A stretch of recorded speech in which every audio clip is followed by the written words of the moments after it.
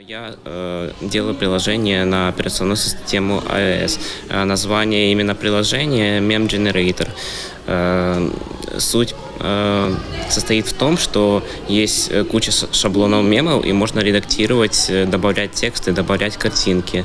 Чем, собственно, отличается приложение от других похожих, это тем, что у него есть красивый интерфей- интерфейс, э, есть возможность э, э, вернуть назад.